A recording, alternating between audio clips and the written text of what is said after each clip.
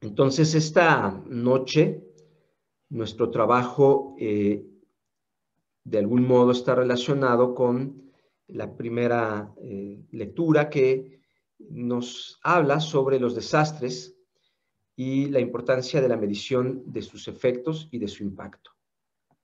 La materia que nosotros estamos viendo está relacionada con los instrumentos financieros para la atención de desastres. Y nosotros hemos venido tejiendo con la charla pasada esta idea de que eh, si queremos eh, implementar un programa de recuperación o de construcción, antes que nada tenemos que tener una evaluación del desastre. Si no tenemos un diagnóstico claro de cuáles fueron los daños y cuáles fueron las pérdidas, difícilmente vamos a poder eh, construir una política de recuperación o de reconstrucción efectiva que le sume de manera significativa a lo que ha ocurrido. Entonces, eh, nuestro curso de algún modo se divide en, tiene dos caras. Una es eh, cuál es el resultado de la evaluación y por otro lado es qué instrumentos puedo emplear para cada tipo de daño y particularmente para los diferentes daños sectoriales, es decir, para cada sector. Este manual de desastres eh, trabaja de manera sectorial, eh, revisa y ahorita vamos a ver cuáles son los sectores que, de algún modo y cómo divide los sectores este manual, pero también este, lo hace de manera global. Y ahorita vamos a platicar qué significa eso. Y por otro lado, eh, van a haber lecturas, van a estar intercaladas, es decir, no vamos a terminar primero todo el manual y luego vamos a empezar a ver eh, lo que es la gestión financiera del riesgo, sino que por el contrario vamos a avanzar.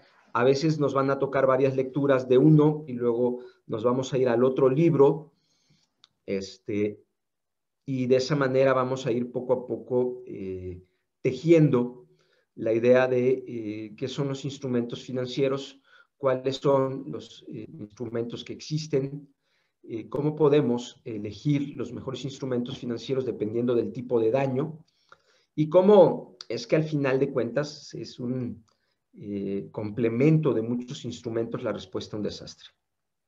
Por supuesto, buscaré invitar a algunos colegas que han eh, implementado, por ejemplo, el manual de evaluación de desastres.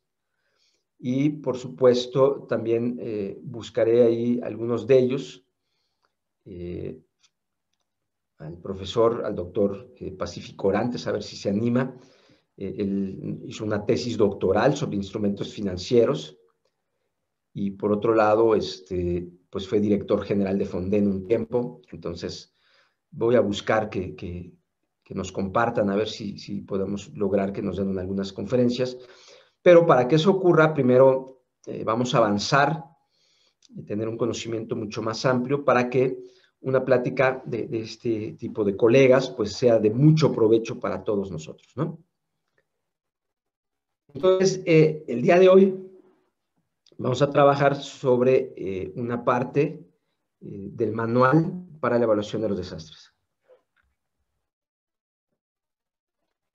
Y citando el mismo documento, eh, yo encontré, extraigo algunas de las citas de los temas que yo considero importantes.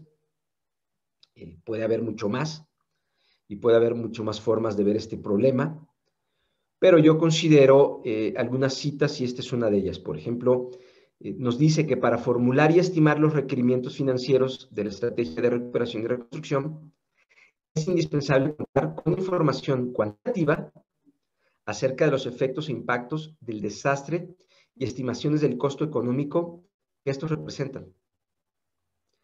Eh, si chocas tu automóvil, lo primero que necesitas es saber cuánto cuesta repararlo, ¿no? Y una vez que sabes cuánto cuesta, pues entonces vas a buscar eh, instrumentos financieros que pueden ser desde cobrar tu seguro hasta conseguir un crédito, pedir prestado, pedir regalado. Hay muchas formas de conseguir dinero. Eh, para responder ante un daño provocado por un accidente o por un desastre en nuestro caso. Entonces, eh, esto reitera la idea que hemos venido construyendo. Primero, necesitas estimar los requerimientos financieros y para eso primero necesitas identificar, contar los daños y a partir de ello establecer qué se va a necesitar en términos financieros. Explicamos ya la sesión pasada, no me voy a detener mucho, de la pirámide de Sherman Kent. Hay un daño, ocurrió un desastre, el hecho es que hay daños y pérdidas, eso es lo que está hasta abajo. ¿Qué tengo que hacer? Registrarlos para que entonces tenga yo eh, una base de datos, eh, una fuente de información. Eh, cuando estos datos están ordenados, se vuelven una fuente de información. Y esta fuente de información tiene que ser analizada para construir conocimiento.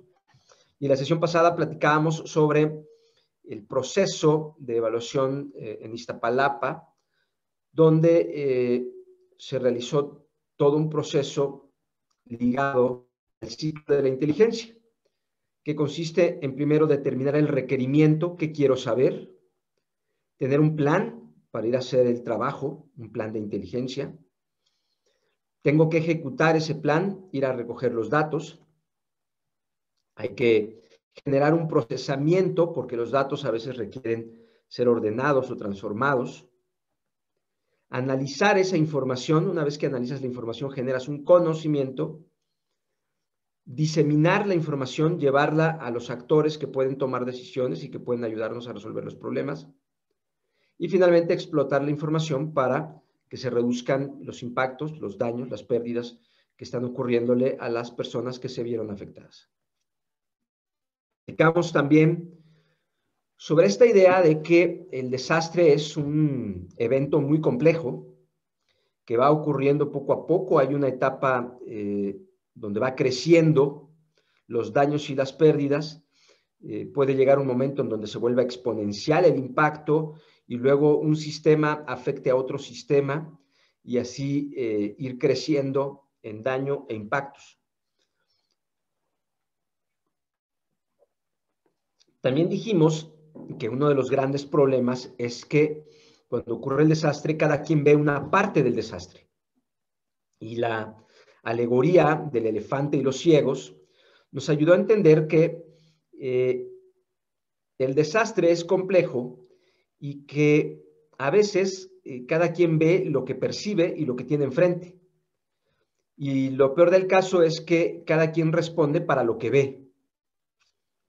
Eh, el ciego 1 responde pensando que el elefante es como una serpiente, el 2 como si fuera una columna, como una pared, una cuerda, un abanico o una flecha. Pero ninguno de ellos percibe el elefante completo. Entonces, nuestro principal objetivo inicial es lograr ver completo el desastre y verlo en todos sus territorios. Por ejemplo, el sismo del 19 de septiembre del 2017 no fue igual en Morelos o en Iztapalapa o en la delegación Benito Juárez o en la delegación Cuauhtémoc, en cada una, o en Puebla, en cada uno de estos territorios eh, los daños y las pérdidas ocurrieron de manera distinta.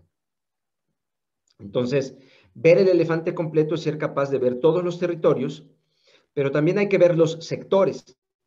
No es lo mismo lo que ocurre en el sector económico eh, que lo que ocurre en los sectores sociales, como los sectores de la vivienda o la salud, o incluso con la infraestructura. Entonces, ver el elefante completo es verlo en todos sus territorios, en todos sus sectores, pero también en muchas ocasiones ver el desastre tiene connotaciones disciplinarias. Es decir, eh, el desastre se tiene que ver desde diferentes ojos, con diferentes miradas. No es lo mismo la forma en la que miraron este terremoto del 2017 eh, los psicólogos que acudieron a algunas comunidades en Morelos o, en Ciudad de México, que como lo veía el rescatista o como lo estaba viendo el ingeniero civil o el, geólogo, el geólogo o el geofísico. Por lo tanto, ver el elefante completo significa integrar los territorios, las disciplinas y los sectores. Otra nota me pareció interesante en este documento que estamos revisando de la Comisión Económica para América Latina es que la descripción global del impacto y la cuantificación y valoración de los daños, las pérdidas y los costos adicionales que ocasionan los desastres permiten saber cuáles son los recursos indispensables. Por lo tanto, tenemos que valorar daños, pérdidas, costos adicionales para poder eh, tener claros cuáles son los recursos indispensables para restablecer la funcionalidad de las actividades económicas, sociales y realizar las inversiones necesarias para fortalecer la resistencia de la infraestructura física, económica y social ante amenazas, ¿no? Nuevamente nos reitera esta idea. Nos dice, eh, tienes que tener una descripción global del impacto. ¿Es una descripción global del impacto? Esto. El elefante completo es describir de manera global el impacto y cuantificar de manera global ese impacto a partir de la valoración de los daños, las pérdidas y los costos adicionales. Entonces, una vez que tú eres capaz de mirar completo el elefante, pues puedes saber cuánto se necesita, para qué se necesita, en dónde se necesita, incluso cuándo se necesita ese recurso. Habíamos platicado la vez pasada del el riesgo y en esta primera etapa, este documento habla mucho sobre lo que es el riesgo.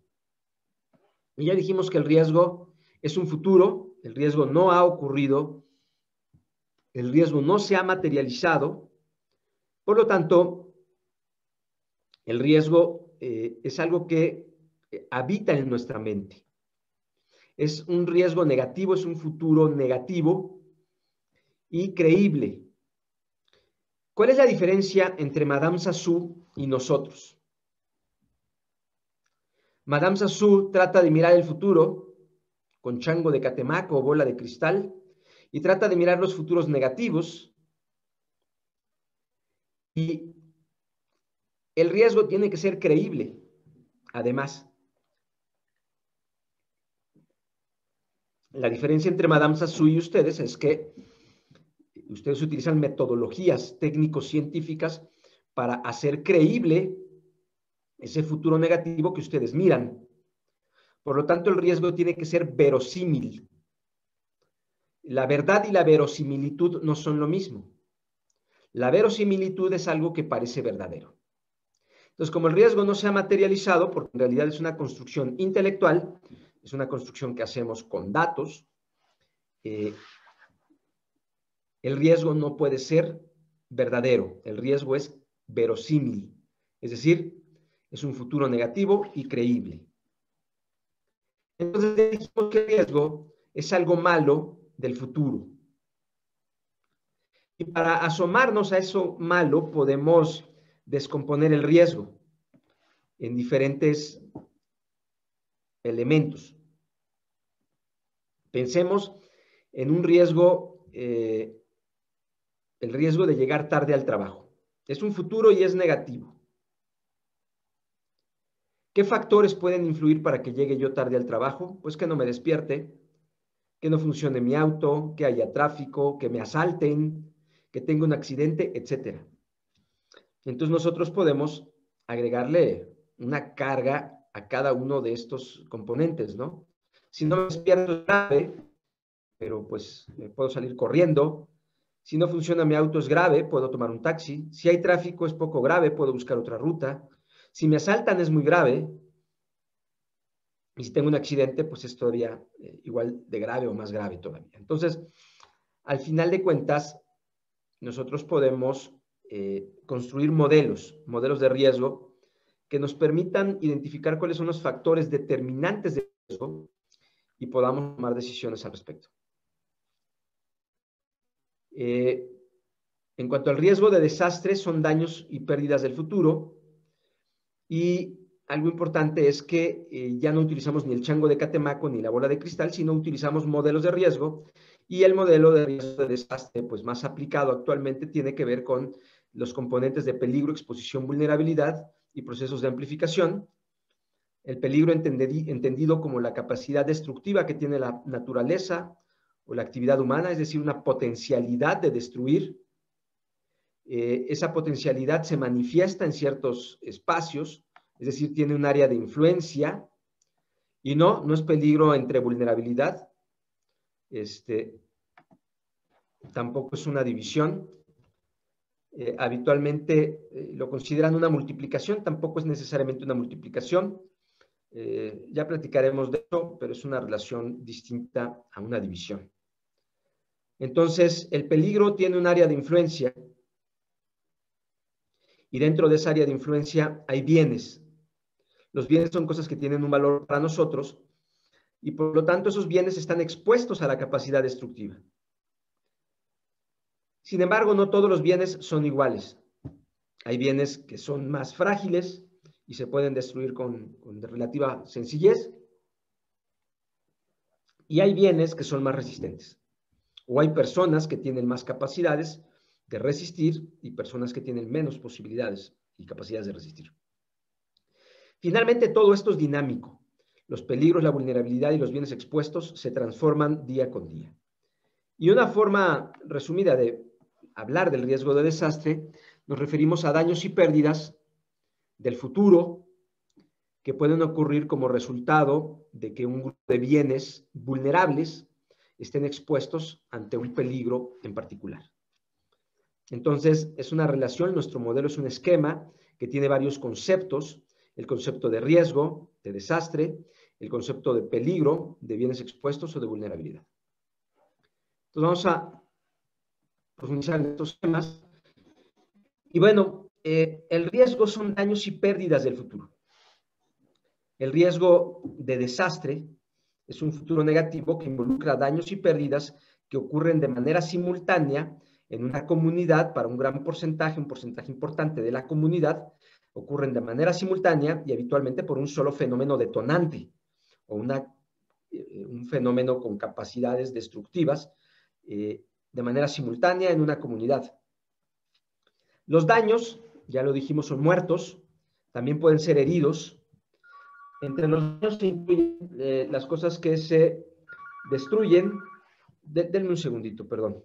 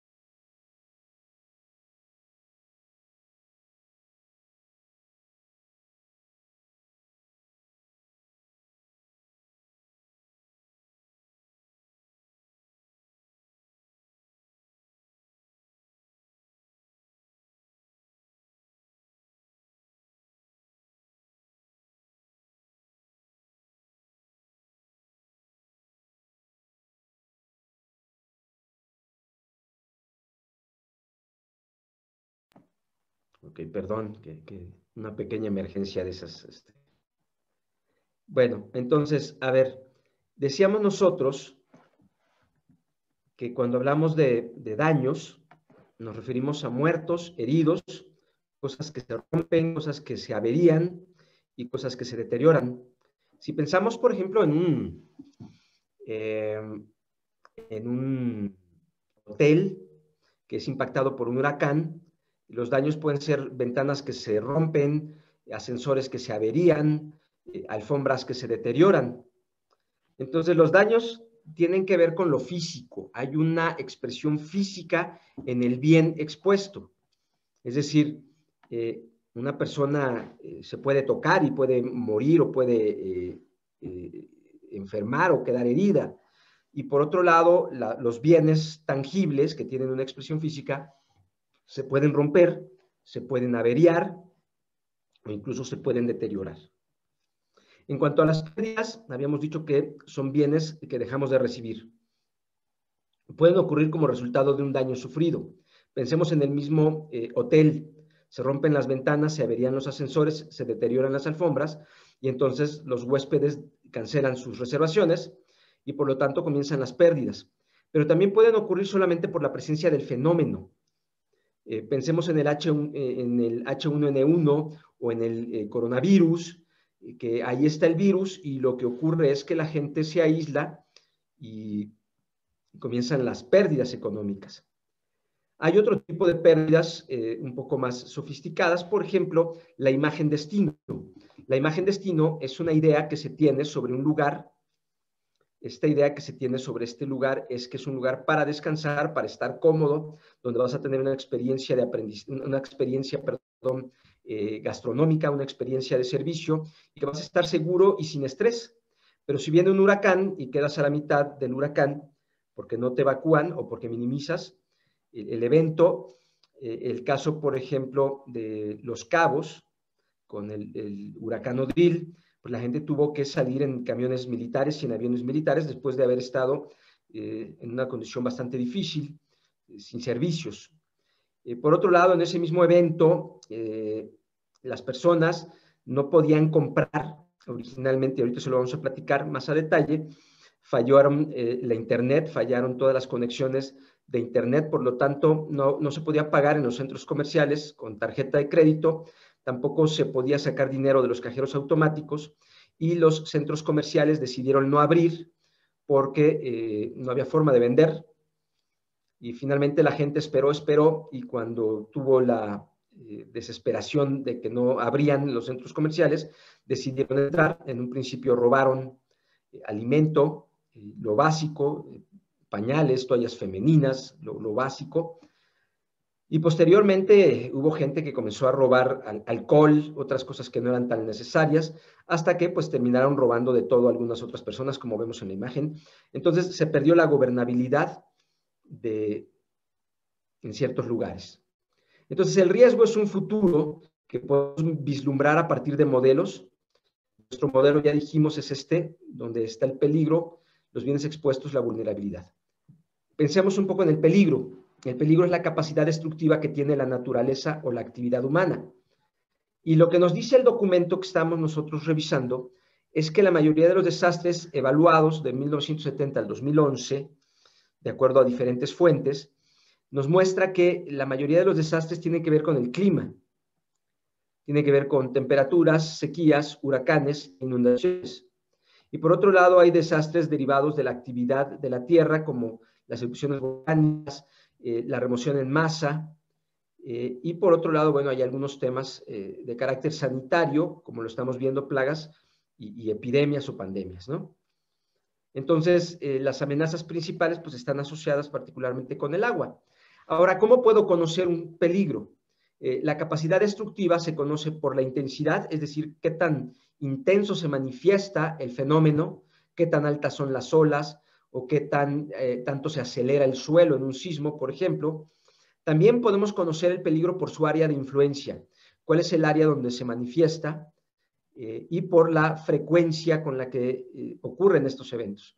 Un evento frecuente ocurre cada año, cada temporada, y un evento poco frecuente puede ocurrir cada 50, cada 100, cada 200 años. Entonces, cada cuánto se repite nos refiere a la frecuencia, el área de influencia en donde se manifiesta y la intensidad es con qué eh, fuerza se manifiesta, con qué intensidad se manifiesta el fenómeno. La inundación, la intensidad, esta capacidad destructiva del fenómeno, la podemos medir por la velocidad de flujo, por la altura de la inundación o por el tiempo que permanece inundado un lugar. Mientras más alta es la inundación, mientras más rápido se mueve el agua y mientras más tiempo dura, mayor la destrucción. Ahora les voy a platicar una historia que tiene que ver con eh, un pavo, un pavo que vivía eh, en un laboratorio científico.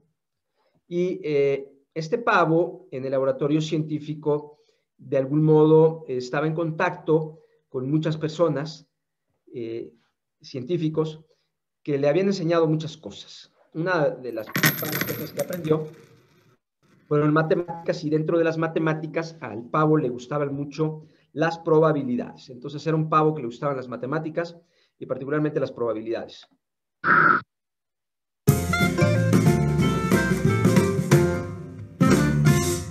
Sin embargo, un día el pavo eh, tuvo que cambiar de residencia porque cerraron el laboratorio científico y se fue a una granja. En esa granja empezó a tener experiencias nuevas por primera vez estuvo al aire libre, comió comida fresca y como le gustaban mucho las matemáticas, pues decidió seguir aplicando su conocimiento matemático en el, en el rancho donde se fue a vivir. Y lo que hizo fue medir su felicidad, estableció indicadores de su felicidad para poder determinar eh, qué tan feliz era. Entonces le agregó a cada cosa, al alimento, si la comida era fresca, si el clima era agradable, y para cada elemento le agregó un valor y fue midiendo poco a poco la felicidad día tras día. Con el tiempo aplicó sofisticados modelos matemáticos para poder eh, mirar el futuro. Es decir, con los datos que, que tenía, trató de asomarse al futuro a través de modelos probabilísticos que le permitieran saber qué tan feliz iba a ser en el futuro y el resultado de sus cálculos fue que iba a ser 97.3% feliz el resto de su vida.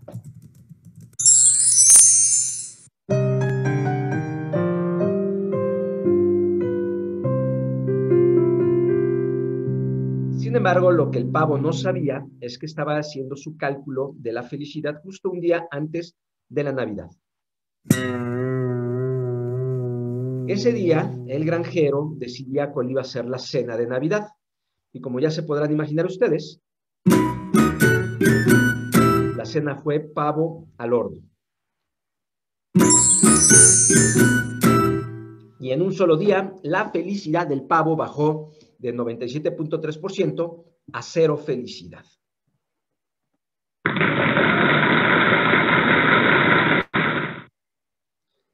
Y la pregunta es, ¿qué nos enseña la historia del pavo? Eh, en primer lugar, nos enseña que eh, a veces podemos buscar eh, mirar el futuro a partir de datos del pasado, pero muchas veces hay amenazas que no están a nuestra vista. Hay amenazas que están ocultas porque no tenemos datos suficientes sobre el pasado.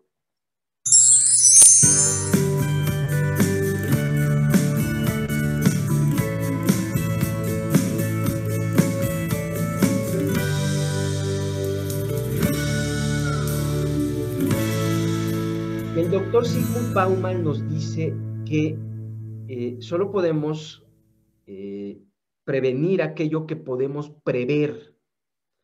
Por lo tanto, en muchas ocasiones, eh, los datos del pasado, como le pasó al pavo, no son suficientes para imaginar los daños futuros.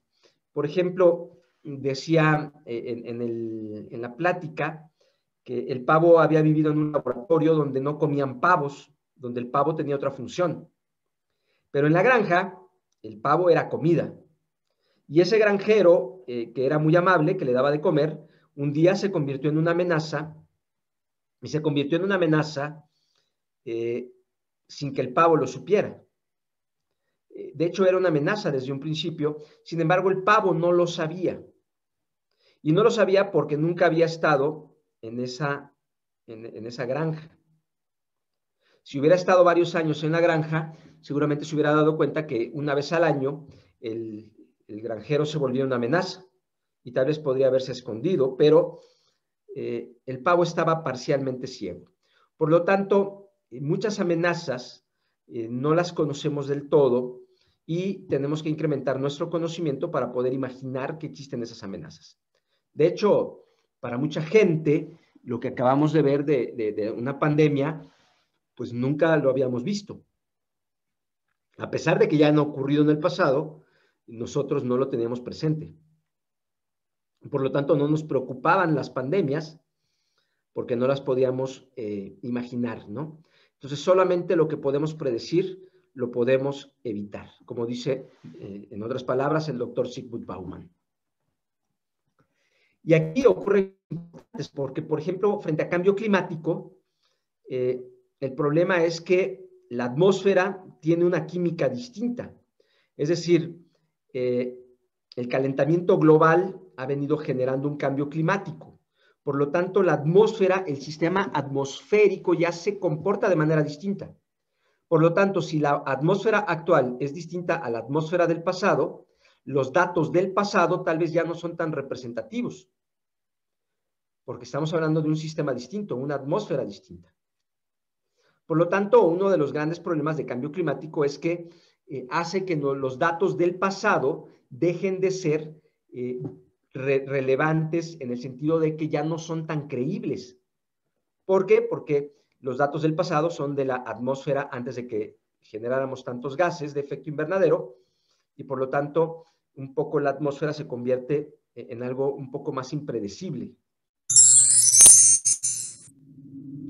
Otro caso ocurrió, por ejemplo, en Japón con el sismo y tsunami de Tohoku, que fue tan fuerte el sismo que provocó un tsunami y este tsunami provocó olas, de modo que si yo les dijera que eh, imaginé un barco arriba de una casa después de un tsunami en Japón, pues mucha gente hubiera dicho que no era cierto.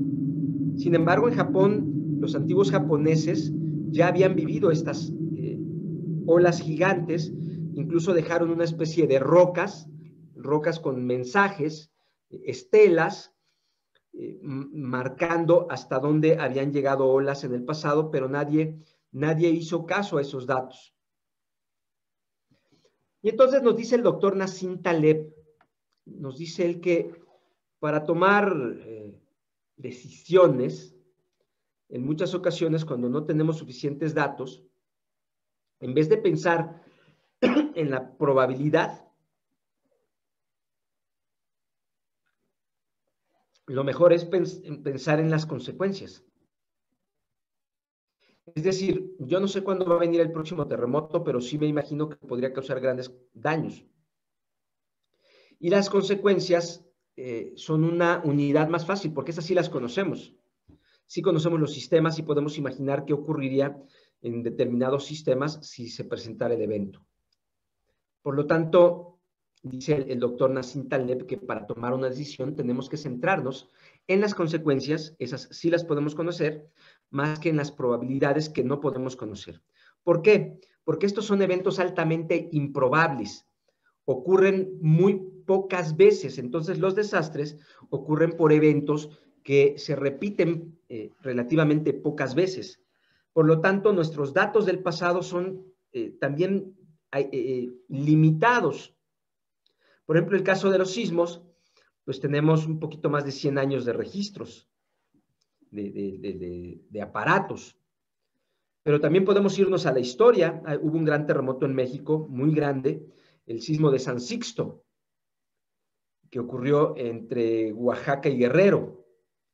Y lo sabemos por la historia. Pero también hay quienes están excavando eh, el, el, suelo en estos lugares tratando de encontrar capas de arena, de arena de tsunami. Entonces, a partir de la paleosumina,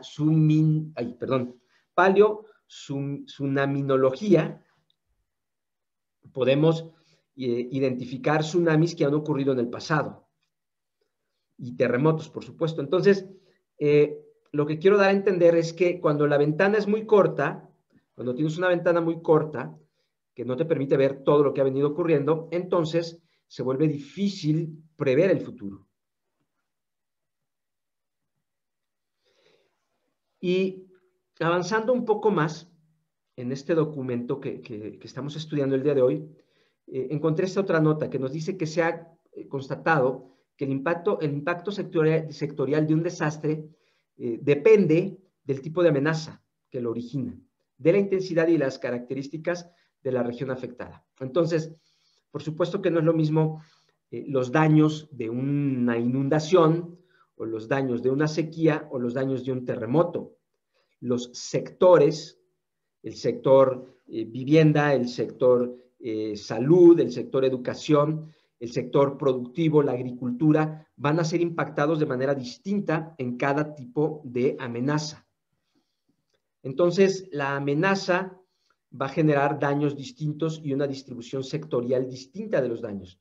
Lo que nos eh, indica es que no todos los desastres son iguales, cada desastre es distinto, aunque eh, muchos desastres se parecen dependiendo del tipo de fenómeno, del tipo de peligro, del tipo de amenaza que generó el desastre. Y bueno, el documento que vemos nos presenta esta clasificación eh, de desastres según el tipo de fenómeno que los originó. Y aquí hay algo muy interesante que tal vez lo habrán notado ustedes, van a ver que hay una sección que dice los desastres naturales, los fenómenos que causan los desastres. Entonces, a mí me parece que eso es un error en el documento, no, los documentos no son perfectos y, por supuesto nos hablan de que el desastre depende de la amenaza, sí, porque de algún modo cambia el tipo de daño, pero hablar del desastre natural, pues ya sabemos que es como echarle la culpa a la naturaleza, echarle la culpa al fenómeno y no pensar que el desastre es el resultado de una construcción social, de, procesos sociales. Y, bueno, entonces aquí en el documento encontramos diferentes eventos, ¿no? Eh, los sismos, los tsunamis, las erupciones volcánicas, los deslizamientos de tierra, eh, los derrumbes, aludes, aluviones, huaicos. El huaico son flujos de lodo, así les llaman estos amigos. Las inundaciones, la sequía, las heladas, las tormentas, las granizadas, los tornados, huracanes, epidemias, este, plagas. Entonces vemos que hay diferentes eh, amenazas y peligros que pueden causar daños y pérdidas. El segundo componente de nuestro modelo son los sistemas expuestos. Yo debo decirles que he encontrado eh, que muchos de estos sistemas expuestos son poco considerados por algunos de los colegas eh, que se dedican al tema de los desastres. Pero a mí me parece muy importante el tema de la exposición y les voy a decir por qué. Porque eh, la exposición nos puede dar datos muy importantes de todo lo que está sujeto a la capacidad destructiva de la amenaza, es decir, este peligro o amenaza tienen un área de influencia, un área donde se manifiestan. Por lo, tanto, por lo tanto todo lo que está allá adentro, de algún modo, eh, puede sufrir daños. Y todo lo que está allá adentro está interconectado, ya lo hemos platicado también, es un sistema que está interconectado, pero además todo eso tiene diferentes formas de expresar su valor. Hay valor económico, hay valor estratégico y hay valor afectivo. Por ejemplo, en esta materia de eh, instrumentos financieros, nos, nos interesa convertir el riesgo en términos de su valor económico para poder conseguir recursos financieros. Pero la materia, por ejemplo, de eh, instalaciones temporales en situación de desastre, eh, nos interesa tal vez un poco más conocer el valor estratégico de los bienes. Entonces, eh, para esta materia es importante expresar el riesgo en términos económicos y para la otra materia es importante valorarlo en términos eh, estratégicos, qué impacto tienen sobre todo el sistema, cada, cada bien que se daña, cómo afecta a todo el sistema. Y lo más curioso es que para el ser humano le, le damos más valor a todos los bienes en términos afectivos. Y ahorita lo vamos a platicar. Entonces los bienes se pueden, es todo lo que está allá adentro y tiene un valor, está dentro del área de afectación del peligro y tiene un valor eh, económico, estratégico o incluso afectivo.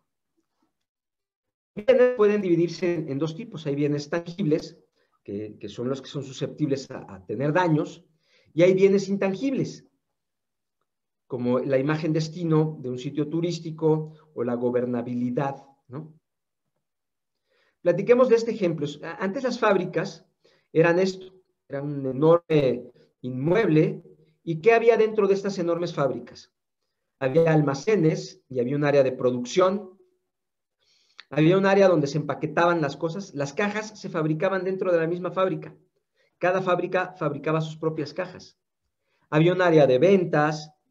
Por supuesto, había un área de distribución allá adentro. Había un área de contabilidad eh, un área de vigilancia, eh, el policía era parte de la empresa, había un área de intendencia que mantenía limpias las instalaciones, incluso había un área jurídica que generaba los contratos o protegía y defendía la empresa, ¿no?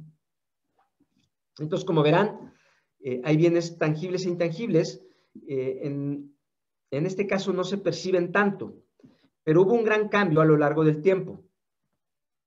Bueno, eh, eh, cuando las fábricas o las empresas eran esto, si ocurría algo, pues se dañaba todo, ¿no? Se dañaban eh, los almacenes, se, dañaba, este, se dañaba todo de manera simultánea, ¿no? entonces tenemos que si algo ocurría, todo estaba concentrado. Con el tiempo, se crearon otras formas de producción y entonces las empresas se dieron cuenta que tenían eh, gastos que podían eh, reducirse, porque no todo generaba valor. Y entonces la empresa dijo, bueno, ¿para qué tengo yo un almacén? Si puedo hacer las cosas justo a tiempo, just in time. Es decir, en vez de tener grandes almacenes, tener producto terminado, materia prima almacenada, representa este, un riesgo. Eh, representa un gasto más que un riesgo, representa un gasto y un riesgo tenerlo ahí todo amontonado. Por lo tanto, hubo quienes pensaron que, que no había que tener grandes almacenes. Por lo tanto, lo ideal era que en vez de tener un almacén, pidieras las cosas, una cadena donde te lleguen las cosas justo a tiempo, produces y vendes y a esto le llamaban la, producción magra, la producción libre de grasa, le llaman también. Entonces, la producción libre de grasa implica que no tengas almacén, sino que todo te llegue en el momento para que no tengas guardadas cosas que te están costando. El área de embalaje, ¿para qué hago cajas si las puedo comprar afuera?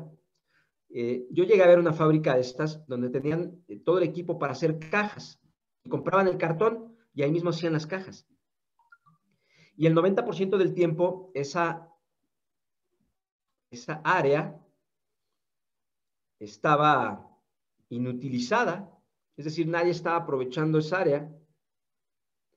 Por tanto, este, el área de ventas también, por ejemplo, ahorita eh, una, una empresa produce los departamentos o las casas y otra empresa las vende. La contabilidad, bueno, eh, había empresas que decidieron quedársela. Lo jurídico, pues contrataron un despacho de fuera. La intendencia, es decir, la limpieza, pues contratas a una empresa de fuera. La vigilancia, pues contratas eh, por outsourcing, contratas a una empresa de fuera. La distribución, bueno, pues te quedas parte de la distribución tú mismo. ¿Y qué fue lo que ocurrió? Que las empresas comenzaron a ser más pequeñas y más centradas en su ventaja competitiva. Es decir, cuáles de los procesos de la empresa generan valor y cuáles generan solamente un costo innecesario porque puedes contratar las cosas afuera. Y entonces la producción cambió. Cambió la forma de producir, donde antes todo estaba dentro de una sola empresa, a eh, una producción donde gran parte de los procesos están fuera de la empresa. Y entonces la empresa se convirtió en esto, en una cadena de suministro. Esta es la empresa, se quedó con unas cuantas funciones dentro de la empresa, pero pues mandó otros procesos, las ventas o las materias primas o ciertas cosas las mandó fuera. Entonces, actualmente este es el modelo de producción global. Son cadenas de suministro que están interconectadas. Y están interconectadas por canales eh, por donde qué fluye. Por estos canales fluyen materias primas, fluye información, fluyen medios de pago electrónicos, muchos de ellos, o cheques, no sé, fluyen medios de pago. Entonces, esta cadena se volvió eh, vulnerable de manera distinta. Antes todo estaba concentrado y si ocurría un evento se quemaba y se, perdía todo. Pero ahora, como está en diferentes territorios, cada pieza, cada canal está expuesto a eh, diferentes amenazas, ¿no? Este tal vez está expuesto a inundación, pero este está expuesto a sismo y así sucesivamente. Por lo tanto, eh, analizar la producción global actualmente eh, implica no analizar un punto, sino analizar una red. Y para que funcionen este sistema de producción global, se debe asegurar el flujo, un flujo permanente de materia prima, de productos, en algunos casos de servicios, también de medios de pago y de información. Entonces, eh, el cliente necesita, se dio cuenta que está creciendo la cantidad de cubrebocas o de, de alcohol gel, porque hay una pandemia. Entonces, todas las, los núcleos comienzan a producir más.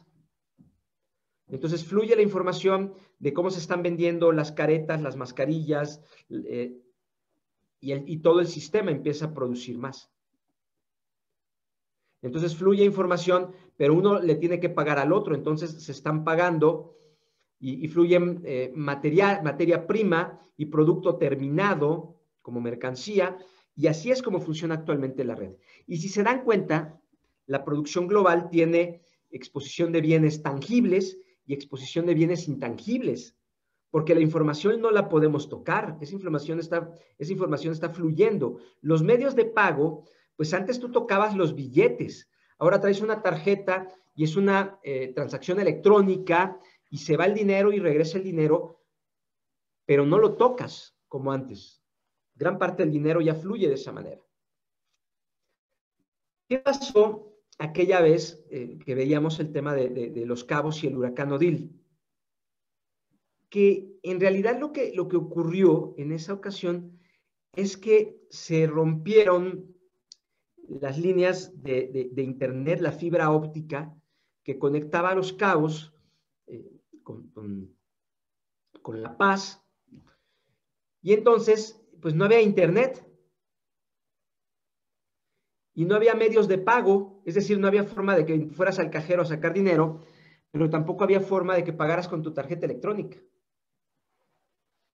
Y entonces, eh, cuando se rompe el flujo de la cadena de suministro, eh, falla la cadena de manera generalizada en algunos casos, ¿no? Entonces, el flujo de información y el flujo de medios de pago se detuvo para los cabos. Y la gente se formó, pero las tiendas no abrían porque no había forma de pagar, hasta que llegó un momento en el que, como lo vimos, la gente eh, desesperada porque necesitaba cosas, pues tomó la decisión de, de meterse y tomar las cosas. Y aquí vemos que primero llevan alimentos, ¿no? Cosas que comer. Posteriormente fueron modificándose los patrones y comenzaron a robar de todo. Pero estos saqueos originalmente eran porque había una serie de necesidades no cubiertas y no porque no hubiera mercancías, sino porque no había medios de pago.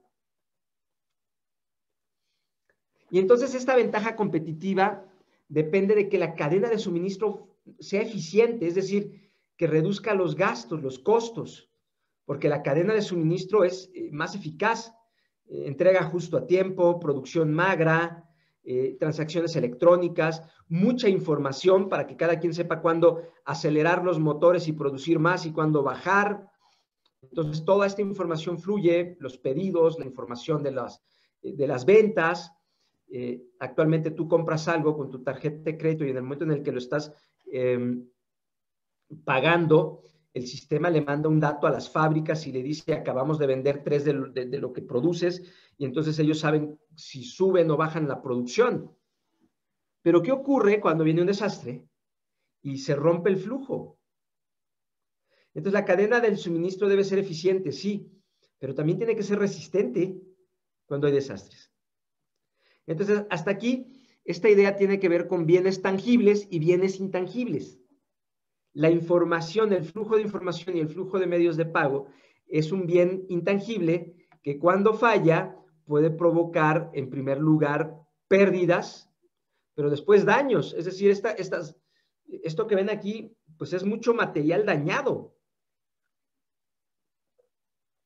La gente no solamente entró a robar, también algunos entraron a dañar, a romper cosas.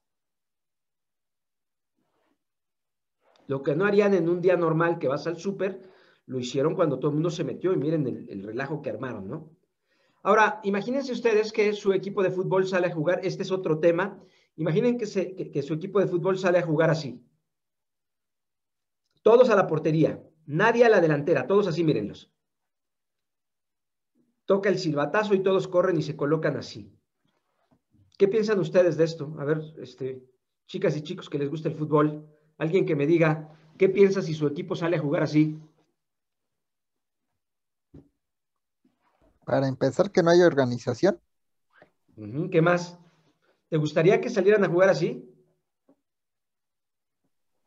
No, están, están asegurando que no les metan gol, pero tampoco van a asegurar que ganen porque no van a meter. Exactamente.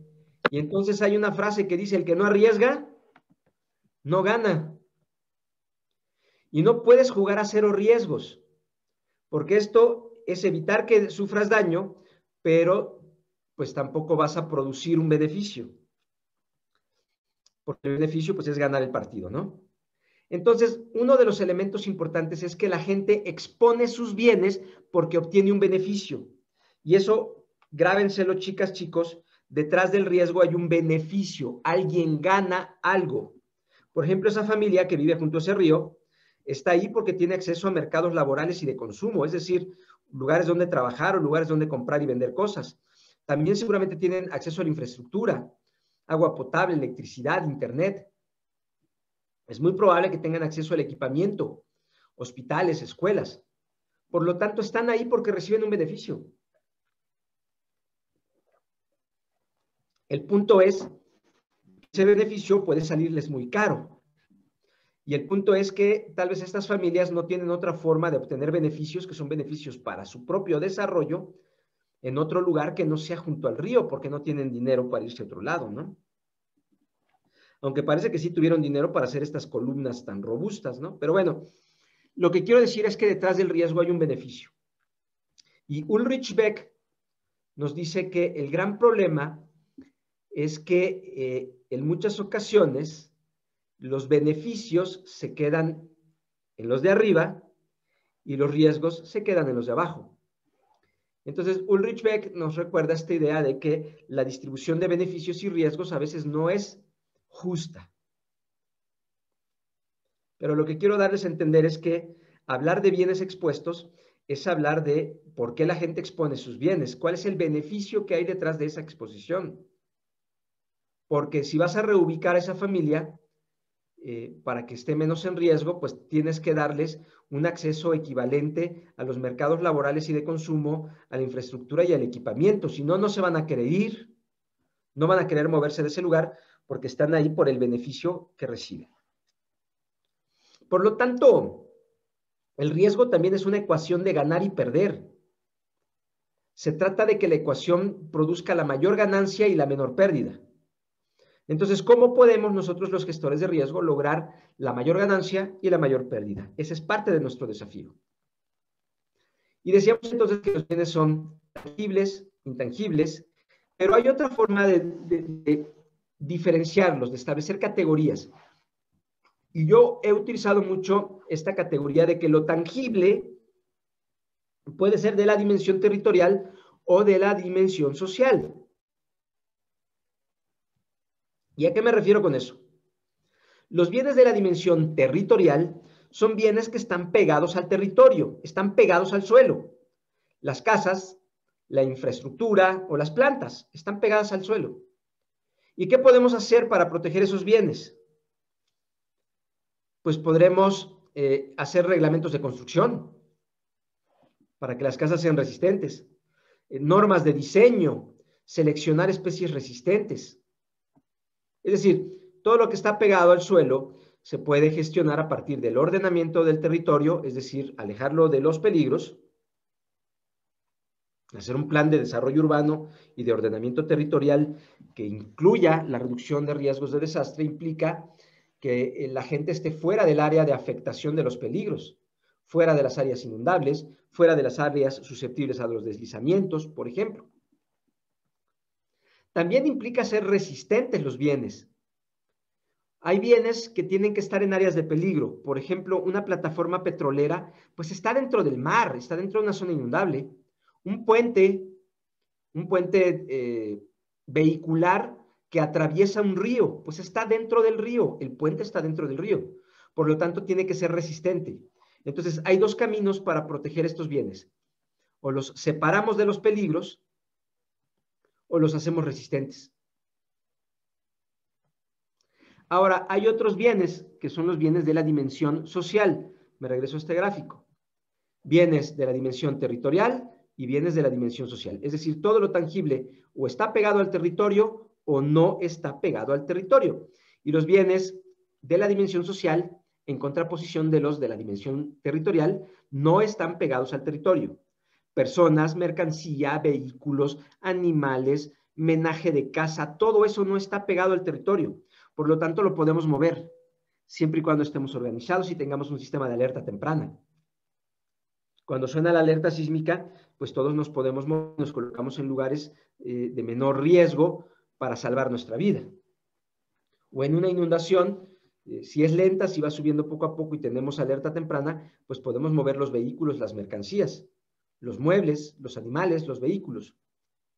Ahora, hubo hace tiempo un evento en el Centro Nacional de Prevención de Desastres sobre eh, animales y gestión de riesgo de desastre. Y fueron varios ponentes y ocurrió algo que yo observé de manera muy curiosa. Algunos ponentes hablaban de eh, la protección animal y daban diferentes estrategias. Hubo unos que dijeron, si se muere la vaca, te pago la vaca. Es decir, eh, había instrumentos financieros seguros para que si se te moría el animal, te pagaban el animal. Y esta es una visión donde el riesgo se puede mirar como un problema económico, es decir, el bien expuesto expresado en términos económicos, el valor del bien expuesto expresado en términos económicos. Entonces hablaban de seguros agropecuarios y decían, bueno, si se muere la vaca, eh, te pago la vaca. Y hubo quienes aplaudieron porque pensaban que eh, el problema del riesgo es un problema económico y nosotros ahorita que vamos a trabajar con temas financieros, pues tenemos que verlo como económico. Pero eso no quiere decir que sea su único valor. Entonces unos aplaudieron y otros como que estaban serios, como que no les agradaba la idea. De hecho, hubo algunas organizaciones de la sociedad civil, una en particular, que hablaba, decía, bueno, hay animales que producen trabajo y la producción de trabajo eh, representa un valor muy importante para las familias en el sector agropecuario. Por lo tanto, si se muere la mula y no tienes cómo generar ese trabajo, los animales de labor, pues te puedo prestar un tractor. Entonces te presto el tractor y este problema estratégico que tú tienes para producir, lo resuelvo con un equipo externo. Es parecido al tema del paciente en estado crítico que tiene un tubo, ¿no? no funcionan tus pulmones, pues te pongo un pulmón artificial y esto lo hago por un tiempo y, mantienes tu vida. Y hubo quienes dijeron, qué buena idea, ¿no? O sea, los animales pensados como algo estratégico para tu desarrollo. Entonces, los bienes expuestos los podemos medir por su valor económico, por su valor estratégico, y esto es algo que nosotros vamos a medir eh, en, en la otra materia de instalaciones temporales, ¿no? Nos interesa el valor estratégico de las cosas para ver cómo sustituimos el valor estratégico con, eh, otras cosas, ¿no? Y en esta otra materia, pues como es eh, mecanismos, instrumentos financieros, pues lo vamos a ver en términos económicos. Y hubo quienes eh, aplaudieron esta idea, pero había otros que todavía estaban medio enojados. Particularmente organizaciones protectoras de animales. Y aquí les voy a platicar brevemente sobre un documento que publicó el Papa eh, Francisco. Ustedes tienen que aprender que hay que leer todo lo que venga de desastres o de riesgos, no importa de la fuente que venga, porque para nosotros es muy importante comprender todos los enfoques, todas las ideologías y todas las creencias, si es que queremos ser buenos gestores de riesgos. Y entonces el Papa Francisco, eh, que tomó su nombre por Francisco de Asís, eh, platicaba en este documento Laudato Si, el cuidado de, la casa común, ah, decía que eh, parte de las ideas franciscanas, o sea, esta idea de, Laudato Si, es eh, cómo la iglesia debe de proteger el medio, el medio ambiente. Y comienza con esta idea franciscana que dice que, que Dios creó todo y que creó el universo, las partículas del universo, creó los planetas, creó las rocas, creó las plantas, creó los animales y creó al ser humano. Y por lo tanto, somos hermanos de creación. Y como somos hermanos de creación, eh, estamos investidos de una dignidad distinta. Y aquí la pregunta es, eh, un hermano, a un hermano se le vende, un hermano tiene valor económico, o un hermano se usa, a un hermano se le usa, tiene valor eh, estratégico, o a un hermano se le quiere, se le cuida y se le ama. Entonces, últimamente, sobre todo los millennials, este, traen esta idea de que los animalitos eh, son seres sintientes y son dignos de ser amados. Y, bueno, yo en, parte de esto estoy totalmente de acuerdo, ¿no? Este, eh, mis, hijos tenían un perrito que se les murió, pero eh, pues si, había un pleito entre el, entre el perro y yo, salía primero el perro que yo. Bueno, salía yo, perdón, primero el perro. ¿Por qué? Porque se vuelven parte de la familia. Es decir, hay un valor afectivo. Por lo tanto, los bienes expuestos tienen valor económico, estratégico o afectivo. Y aquí lo curioso es que nosotros tomamos las decisiones más importantes de nuestra vida en función de lo que amamos, en función del valor afectivo. Pero la gestión de riesgos en muchos casos insiste en ver solamente el valor estratégico o en ver solamente el valor económico. Adelante, Reyes. Ah, ya, ya entendí. Entonces sería como una aseguradora que está poniendo precio al riesgo.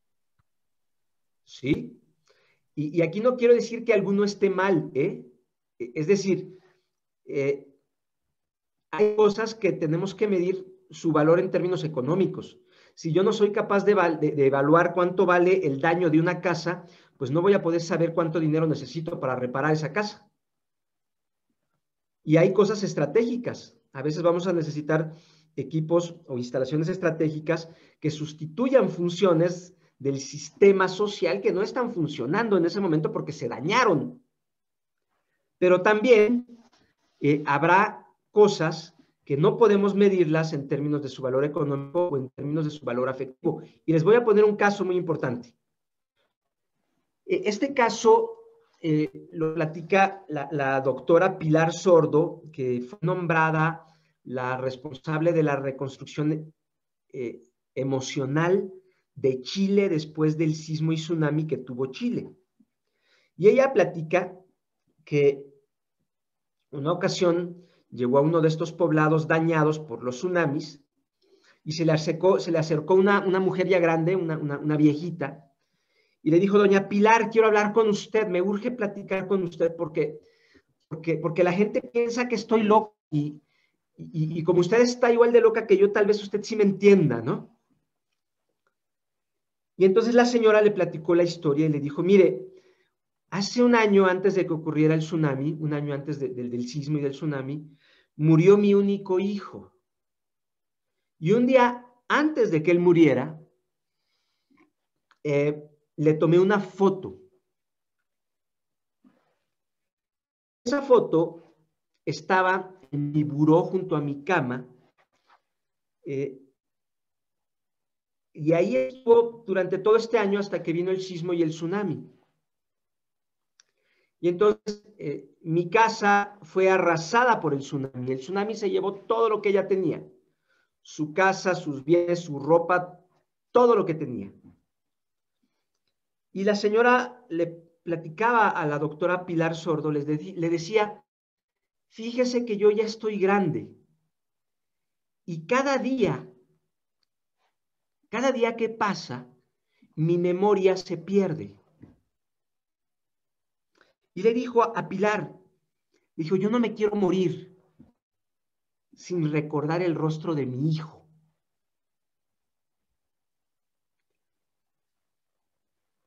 Y, lo que se entiende de esto es que eh, esta mujer lo había perdido todo, pero lo único que no estaba dispuesta a perder era el recuerdo en su memoria de su hijo. Debo suponer que no tenía Facebook, este, ni Instagram, ni otras cosas. Pero bueno, la, idea en el fondo es que, en términos económicos, ¿cuánto valía la foto? ¿10 pesos? ¿20 pesos?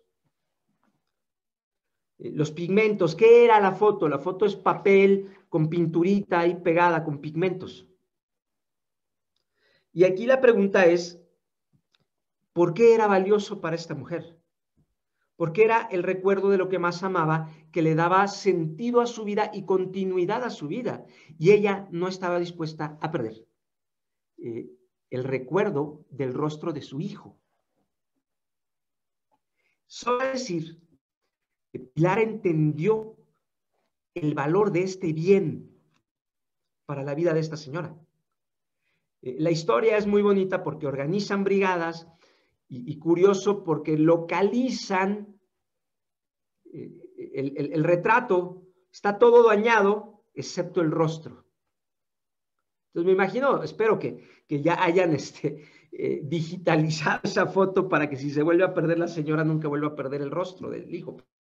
Lo que quiero dar a entender es que a veces medimos el riesgo en términos económicos, medimos el riesgo en términos eh, estratégicos, lo cual es muy bueno, pero decidimos en términos afectivos.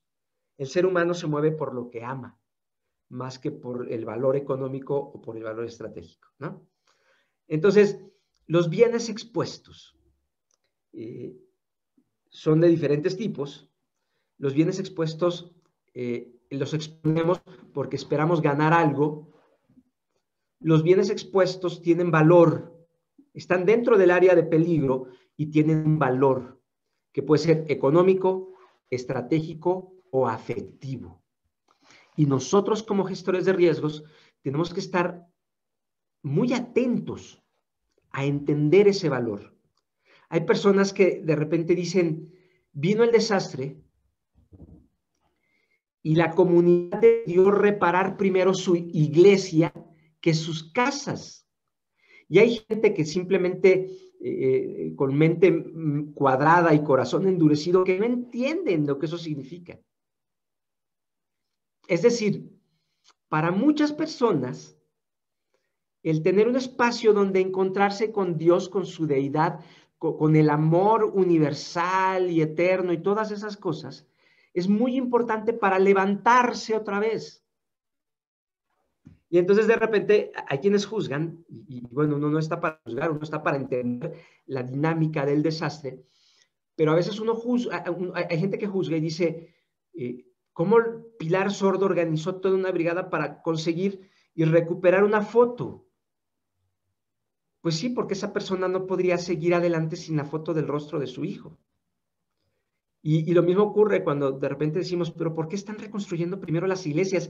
¿Qué le pasa a esta gente? Está en la calle, en una carpa, y lo primero que salió en comunidad a reparar fue su iglesia.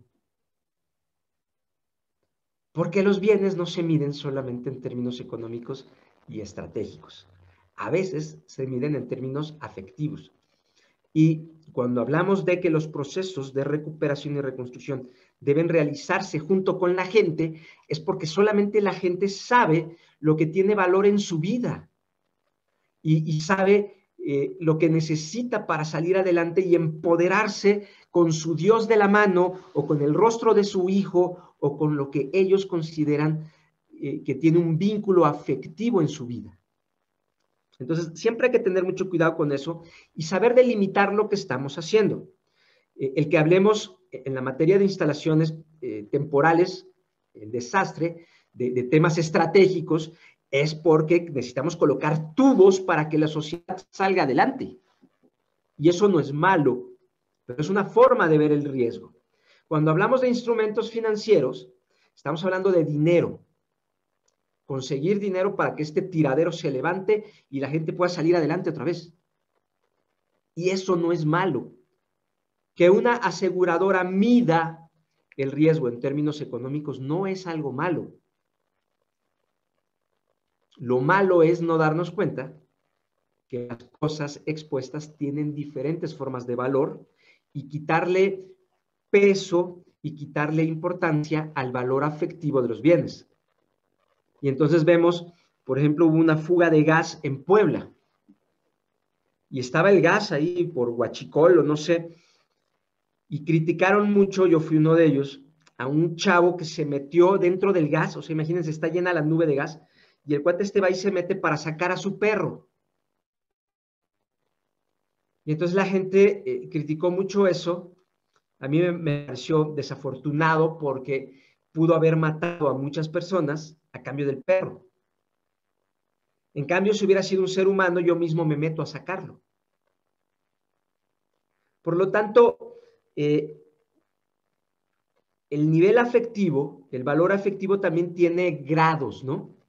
No es lo mismo proteger la vida de un ser humano solamente porque es un ser humano que ir a meterte a arriesgarte para proteger eh, las flores que te acaba de mandar tu novio. No, no sé si me explico. Entonces, eh, no es lo mismo un peso que 100 pesos, no es lo mismo algo eh, que no es estratégico que una pieza súper estratégica para, un, para una eh, comunidad. Y también no es lo mismo algo que tiene un valor amoroso, que merece más amor, merece más amor un ser humano que un perro. Entonces, si me meto y arriesgo a toda la comunidad, este, por cuidar al perro, entonces hay niveles de amor. Adelante, Reyes. Entonces, por ejemplo, hay personas que no requieren los servicios básicos, sino algo afectivo en condiciones de que es importante para ellos, ¿no? más bien, eh, hay que tener cuidado, requieren todo. Eh, este, es decir, requieren los servicios básicos. Esta comunidad de Chile requiere este, casas y para eso se requiere dinero. Y seguramente todo el sistema eléctrico y todo el sistema de gas y todo el sistema de, de agua se pudo haber visto comprometido y está dañado y también lo requiere. Lo, que quiero dar a entender aquí es que a veces eh, cuando hablamos de la intervención de la sociedad eh, es porque ellos saben qué es lo más importante. Y aquí hay otro ejemplo, ¿no? Imagínate que te dijeran, esto fue en Ruanda, la gente tuvo que salir huyendo porque estaban, había un genocidio, están matando a la gente. Si tú tuvieras que salir de tu casa y tuvieras que llevarte cinco cosas, ¿qué te llevarías? Y, habrá quienes digan, bueno, pues me llevaría el dinero, me llevaría las joyas, me llevo herramienta de trabajo. Habrá niños que digan, me llevo mi Xbox, ¿no? Entonces, lo que quiero dar a entender es que los bienes eh, tienen diferentes formas de valor eh, económico, estratégico y afectivo en función de la persona que hace la evaluación. Entonces, hablar de bienes expuestos es mucho más complejo y si ustedes buscan la mayoría de los modelos, la mayoría de los modelos le dan poca importancia. Y hay una cosa que se llama el análisis ontológico. El análisis ontológico de los bienes expuestos es eh, qué son las cosas. Porque dependiendo de lo que sean, les vamos a dar valor. ¿Qué es un animal? El animal es dinero, se resuelve con un seguro y dinero y nada más. El animal es la única forma de sobrevivir porque es un medio de trabajo un animal de labor, pues entonces eh, el, valor se sustituye con otro sistema o con algo que te sustituye ese valor estratégico.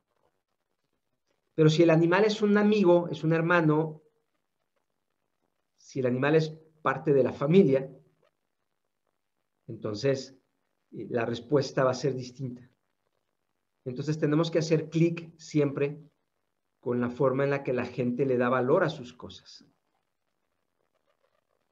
Y por supuesto, el valor de los bienes depende de las necesidades, ideas y expectativas de cada persona.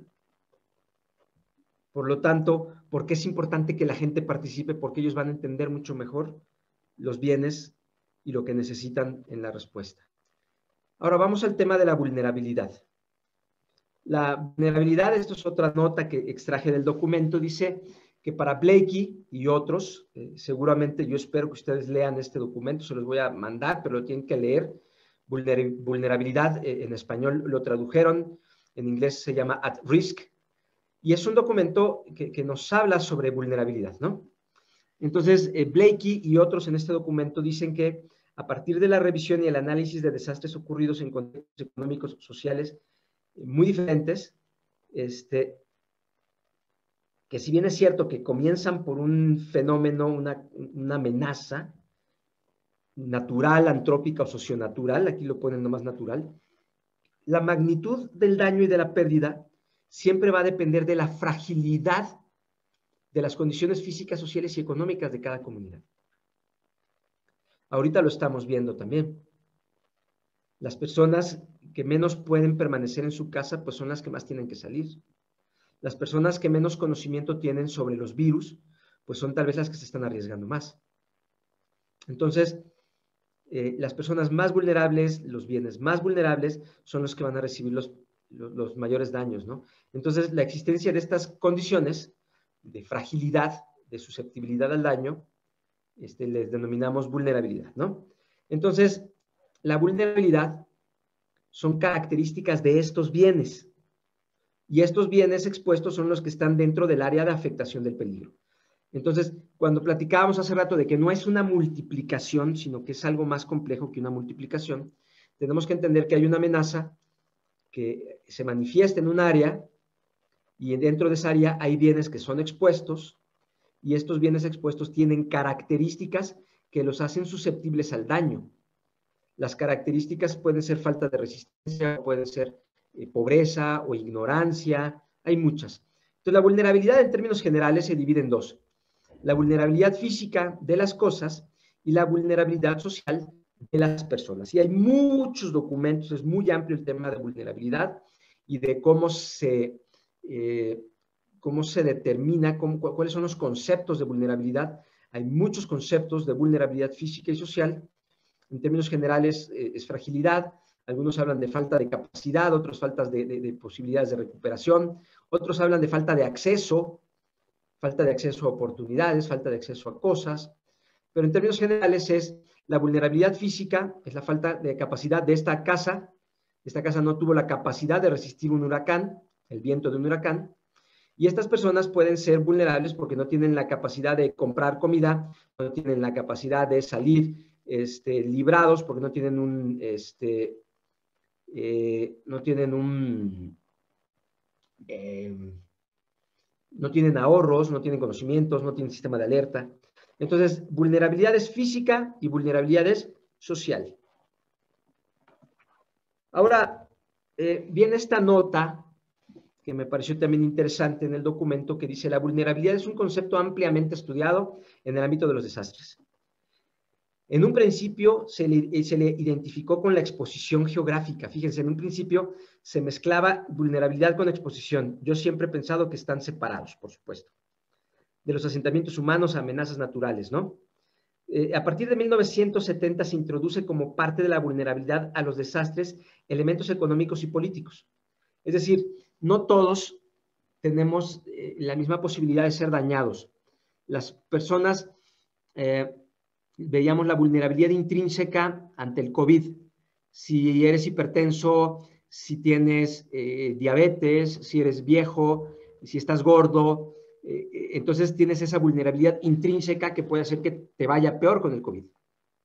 Pero también está la vulnerabilidad exterior, es decir, ¿de qué vives? ¿Cuál es tu trabajo? ¿Tienes trabajo? ¿En dónde trabajas? ¿Cuánto tiempo puedes aguantar sin salir a, la calle, al metro, en qué te mueves. Entonces, todo eso implica mayor posibilidad de que sufras un daño.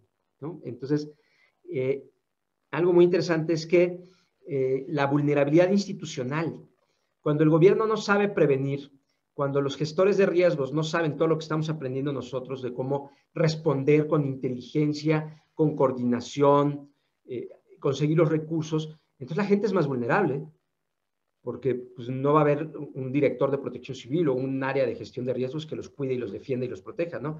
Entonces, la fragilidad institucional también es un problema, ¿no? Actualmente hay consenso respecto a que la vulnerabilidad es una condición previa, una condición que te pone vulnerable significa una condición de fragilidad. Es una condición previa y que los fenómenos naturales lo único que hacen es este, detonan el daño, ¿no? Entonces, eh, estas situaciones pueden ser críticas de fragilidad y, son eh, preexistentes al desastre. Este, entonces, más que la amenaza, eh, la vulnerabilidad tiene impacto. Entonces, hemos dicho, nuestro modelo nos habla de amenaza, de exposición y de vulnerabilidad. Entonces, eh, en el documento nos dicen, la vulnerabilidad a los desastres se constituye entonces por las características. Eso es muy importante. Dijimos que la vulnerabilidad son características de qué? De los bienes que están expuestos ante las capacidades destructivas. Entonces, este punto es muy importante, ¿no? Entonces, la vulnerabilidad eh, es parte, se constituye por características y por circunstancias de una comunidad o de un sistema que lo hace susceptible, lo hace eh, más eh, propenso a sufrir daños. Entonces, esto lo tienen que estudiar ustedes mucho. No es un concepto fácil, de hecho, hay muchas, muchas escuelas de la vulnerabilidad, pero eh, hay, temas que, tienen que ver con la vulnerabilidad, no como parte de la, de la idea de las amenazas, o de la exposición, sino como factores internos de los bienes expuestos, que tienen que ver con lo social, lo político, lo económico, lo institucional, cuando hablamos del daño, perdón, de la vulnerabilidad social, pero también tiene que ver con lo físico. Una casa es vulnerable ante sismos si está mal construida, ¿no? Entonces, eh, hablemos de algunos factores de la vulnerabilidad social, ¿no? La pobreza la pobreza hace que las personas eh, no puedan acceder a vivienda digna y segura, acceso a los medios de vida, sus medios de vida son frágiles e inseguros, acceso a la educación, pues si la gente no tiene educación no puede acceder a, mejores trabajos, pero también no puede mirar el mundo igual. Ahora, ¿qué ocurre? Estas personas que están en situación crítica eh, tienen riesgos inmediatos, es decir, decíamos que hay muchos tipos de riesgos. El riesgo de los desastres es un tipo, pero esta persona tiene riesgo de morir de hambre, tiene riesgo de violencia, tiene riesgo eh, inmediato eh, para su vida. Por lo tanto, cuando las personas están muy entretenidas resolviendo los riesgos inmediatos, difícilmente van a pensar en otros riesgos como los huracanes o como los terremotos. Ya Dios dirá, dicen muchos de ellos. Entonces, la pobreza puede ser parte de los factores de la vulnerabilidad social. Ahora, hay otros casos como las personas con capacidades diferentes o con personas con discapacidades. Aquí es con discapacidades, está mal escrito. Estas personas eh, piensan distinto, miran distinto, hablan distinto, escuchan distinto, se mueven distinto, pero tienen el mismo derecho y la misma dignidad y el mismo derecho a ser protegidos. Pero previamente tienen menos acceso al trabajo tienen menos acceso a los mensajes de alerta porque no los van a escuchar o no los van a ver. Y por supuesto, en muchos casos tienen menos acceso a la movilidad. No se mueven a la misma velocidad. Los adultos mayores son otro grupo social que puede estar en condición de vulnerabilidad. Este, no son vulnerables, están en condición de vulnerabilidad. Entonces, tienen menos movilidad, tienen discapacidades, enfermedades, su resiliencia es limitada, es decir, no es lo mismo esta chica que se puede recuperar a esta señora. O sea, ella tiene fuerza y a lo mejor puede conseguir forma de recuperarse, pero ya esta persona difícilmente se va a recuperar. Y por supuesto viven condiciones de desempleo. Entonces son grupos más vulnerables. Las mujeres por su condición de género, pueden estar sujetas a esto. Y entonces tienes eh, que los zapatos de tacón este, se ven mejor, pero cuando tienes que evacuar un edificio, pues pueden pasar estas cosas. O la otra, las mujeres en su rol tradicional de género cuidan a los más frágiles, a los niños, a los enfermos o a los ancianos. Y lo que es un hecho es que la mujer no se va a mover de ahí sin, sin la persona a la que cuida y protege. No va a dejar a sus hijos, como vemos en la foto. Y entonces en su rol tradicional de género habitualmente puede ser más problemático. Y en el documento dice, la vulnerabilidad a desastres se constituye por las características y circunstancias de una comunidad, de una persona o de un sistema, o bien por lo que los vuelve susceptibles a los efectos dañinos. Es decir, son más susceptibles, es más fácil que sufran un daño y para eso el cuento de los tres cochinitos es muy útil. Los bienes que están ahí son tres bienes de la dimensión territorial, que son las casas, y tres bienes de la dimensión social, que son los cochinitos. El fenómeno es el lobo feroz y el peligro es el viento del lobo feroz, el soplido del lobo feroz. Digo, el que escribió el cuento está medio loco porque yo hubiera pensado la mordida del lobo feroz o, el desgarre de las garras del lobo feroz, pero el que escribió el cuento dijo que la amenaza, el peligro era el viento del lobo feroz. Y entonces el, escenario final es que la casa de paja, la casa de madera eh, sucumben ante el viento del lobo feroz y la casa de tabiques sobrevive. ¿Por qué? Porque las dos casas eran más vulnerables. ¿Y por qué eh, eh, un cochinito hizo su casa de paja la historia tradicional dice que por flojo, pero en muchas ocasiones es porque no tenía otra opción, era lo único que logró conseguir. Y el de madera, pues igual, y finalmente el que tiene una casa más resistente. Por lo tanto, en este escenario podemos entender que hay cosas que pueden sufrir más fácilmente los daños o personas que son más susceptibles al daño por diferentes factores sociales y por lo tanto eh, la vulnerabilidad es parte del tema. Y vemos dos ejemplos, ¿no? ¿Cómo puedo reducir la vulnerabilidad física? Eh, puedo colocarte una barrera para reducir tu vulnerabilidad, eh, te hago resistente, o, te adapto, te coloco en palafitos, o puedo alejarte, aquí está la amenaza, aquí está el área de afectación, pues te alejo del lugar. Ahora sí, Reyes, adelante.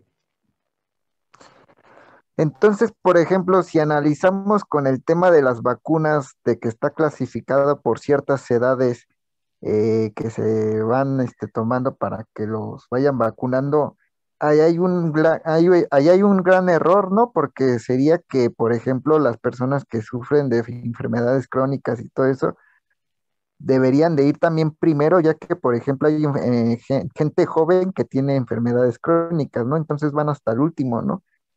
Ahí habría, hubiera un gran fallo de vulnerabilidad. Mm, bueno, a ver, aquí, aquí hay algo bien interesante. La vacunación la puedes hacer en términos de la función estratégica de la gente o de la vulnerabilidad de, ciertos grupos sociales. Eh, yo he hablado de los megavectores. primero hay que vacunar a los médicos porque están más expuestos. También he dicho que a veces eh, es bueno pensar en los megavectores, es decir, las personas que más contactos tienen. Eh, puedo pensar que también hay que vacunar a las personas de los servicios vitales, ¿no? El agua potable, la electricidad. También habría que pensar después en, los grupos más vulnerables. ¿Por qué? Porque tienen vulnerabilidades intrínsecas, ¿no? Pero yo, lo que he planteado es eh, que se tiene que combinar el valor estratégico y el valor eh, físico a partir de, perdón, el valor estratégico y la vulnerabilidad de las personas, la vulnerabilidad intrínseca de las personas. Entonces, si lo que queremos es detener la amenaza, puedo eh, vacunar a las personas o los, a los vectores mayores, las personas que funcionan como transmisor del virus, y con eso protejo a los demás. O como decidió el gobierno mexicano, que no estoy del todo de acuerdo yo, vacunemos a los viejitos primero. Pero el problema es que los viejitos los vacunas, pero la gente que está en la calle, los que se están eh, infectando, son gente que, trabaja, son gente que trabaja en espacios donde, donde está en contacto con muchas personas. Entonces, de repente no es fácil eh, tomar la decisión, pero se tiene que combinar en términos estratégicos, pero también en términos eh, de la vulnerabilidad. Ahora, veamos este tema de los amplificadores eh, los amplificadores, en realidad, eh, yo los he definido como estos procesos que pueden hacer que crezca el peligro, la vulnerabilidad o la exposición. Eh, veamos este edificio. Este edificio estaba en, Tlalpan, calzada de Tlalpan. Era un edificio de oficinas que lo convirtieron en una fábrica de ropa. Entonces metieron materiales, producto terminado, maquinarias y personas. Esto incrementó el peso del edificio y cuando vino el sismo, al parecer golpeó también aquí, se ve que, golpeó con el edificio de junto, se colapsaron todos estos pisos y murieron muchas personas. Por lo tanto, un edificio que en esencia eh, podía haber estado bien construido en un principio, colapsó porque al usarlo mal generamos la vulnerabilidad. Ahora, el peligro también puede crecer. Esto de aquí es Motocintla, Chiapas, en 2005. Como ustedes pueden observar, las montañas alrededor, aquí se ve un desgarro. Estos son flujos. Vino el, huracán, de hecho el huracán impactó, a mí me tocó recibirlo en Veracruz, ahí en, este, en la región de los Tuxtlas, en un lugar que se llama Montepío, eh, pero las bandas nubosas provocaron enormes tormentas en Chiapas y la lluvia provocó flujos, pero también, como ven, está deforestado. Entonces, a mí me han preguntado que si la deforestación es un peligro, es decir, la deforestación es una capacidad destructiva, y yo les he dicho que no. A menos que el árbol te caiga en la cabeza cuando lo cortan, eh, la deforestación es un proceso que incrementa la eh, amenaza o el peligro por deslizamiento, inestabilidad de laderas, flujo de lodo, es decir, por remoción en masa. La deforestación incrementa por varios factores, incrementa la amenaza, el peligro eh, de inestabilidad de laderas. Por lo tanto, hay procesos que si bien no son ni vulnerabilidad ni son peligro, incrementan la vulnerabilidad o el peligro. Otro caso es una fábrica, por ejemplo, una fábrica que eh, no le das mantenimiento, la falta de mantenimiento incrementa el peligro y la vulnerabilidad de la fábrica. Un factor de amplificador, pues, es el cambio climático, ¿no? Esto es un documento de la Universidad de Berkeley y vemos actualmente este, cómo se, ven las trayectorias de los huracanes. Y aquí vemos eh, eh, en el Pacífico mexicano y en el Atlántico, pues cómo se comportan los huracanes y con cambio climático se prevé que los huracanes lleguen más al norte, que los huracanes sean más intensos, los hemos visto cada vez con, mayor intensidad, la velocidad de sus vientos cada vez mayor, son más frecuentes, incluso se cree que podrían ocurrir todo el año. Ahorita sabemos que hay una temporada de huracanes. Bajo estos estudios creen que todo el año podrían ocurrir. Entonces, cambio climático eh, no es una amenaza, cambio climático es un proceso, el calentamiento global provoca el cambio climático y el cambio climático a su vez incrementa eh, los, peligros, los fenómenos destructivos y los peligros asociados a esos fenómenos. Otro amplificador, por ejemplo, es la basura. Tiran basura y entonces eh, los drenajes no funcionan igual. Incluso aquí vemos cómo esta basura generó una especie de, de vela que cuando vino el agua empujó y, ya vieron que dobló el puente completo, ¿no? Entonces la basura amplificó la capacidad destructiva de una inundación, en este caso. Esta tabla originalmente la hizo el maestro Roberto Weppen, que fue mi jefe en, el Centro Nacional de Prevención de Desastres. Y lo que nos habla es de, los procesos de gestión. Los peligros. ¿Podemos controlar los peligros? Si son naturales, no podemos hacer nada. Es decir, no podemos controlar un volcán o un sismo o un tsunami, los de la dinámica interna del planeta. Pero si son antrópicos, provocados por el hombre, o socionaturales, los socionaturales son eh, peligros que la mitad es natural y la mitad es provocada por el hombre, como las inundaciones o acabamos de ver estos. Este, ¿Qué fue lo que ocurrió aquí? Que llovió muy fuerte, bajó la lluvia muy rápido, bajó con lodo y perdón, partió parte de, de Motocintla, ¿no? Hubo muchos muertos aquí. Entonces, los socionaturales, podemos reforestar, podemos hacer muchas cosas para reducir los peligros. La exposición, pues podemos controlar la exposición, es difícil y costoso en los bienes de la dimensión territorial, pero con un sistema de alerta temprana, los bienes que no están pegados al territorio, pues podemos moverlos y, y protegerlos. La vulnerabilidad física y social se puede gestionar, sí, Los amplificadores, ¿podemos hacer algo para evitarlos? Sí. Por lo tanto, el riesgo es gestionable.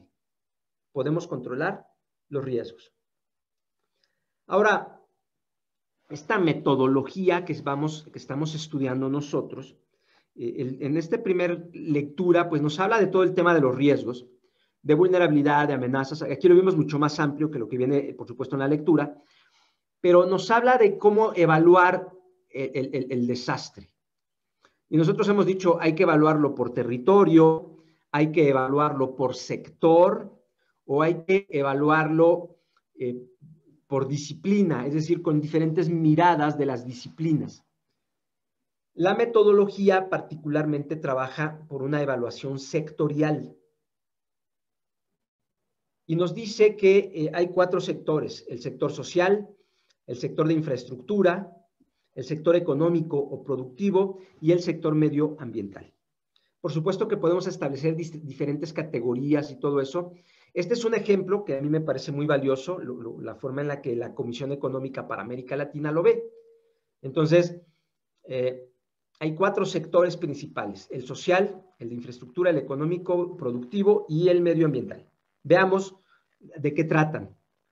Entonces, los daños en el sector social son daños sufridos en la infraestructura social, con las casas, la salud,